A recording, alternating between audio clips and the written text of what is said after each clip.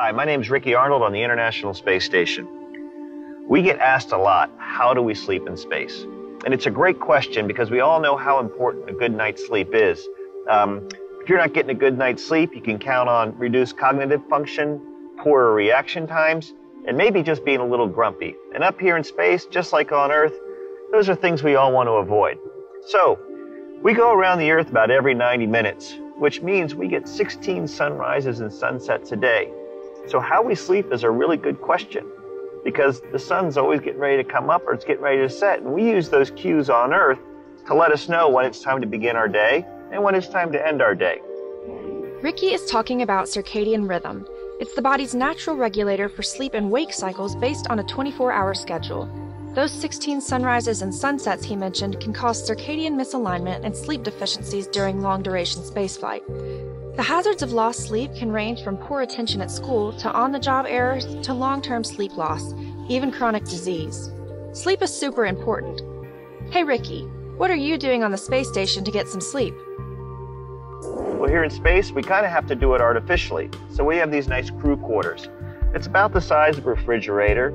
It's very quiet. Um, the space station can be a little noisy, but it's very quiet here. Um, and we can control light with a light switch. If we uh, are just middle of the day, we have a light, a light like you're seeing right now, which is just this kind of standard lighting.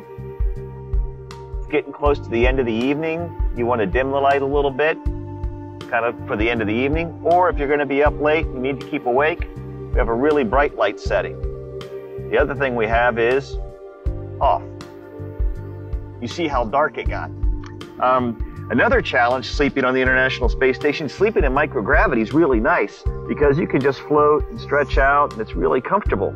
The problem is with the air currents in the International Space Station, you could very well float into a piece of hardware and hit your head, or worse yet, even break something. So, we got our sleeping bag here, just almost like a sleeping bag on Earth. But as you can see, we have bungee cords that help hold us up against the wall, so I almost sleep standing up. And also, I do have a pillow. It's just a bag full of, uh, of clothes. But I actually keep it up on the top of my head because I'm a little tall in the crew quarters. I tend to hit my head on the ceiling when I'm sleeping.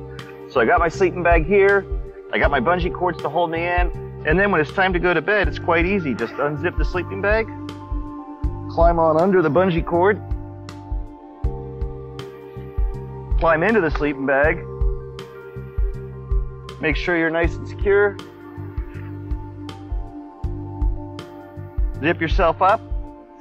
Plan on getting a good night's sleep so I have good reaction times, my cognitive ability is what it should be, and that I'm not grumpy in the morning. So with that, I'm all set. Good night from the ISS.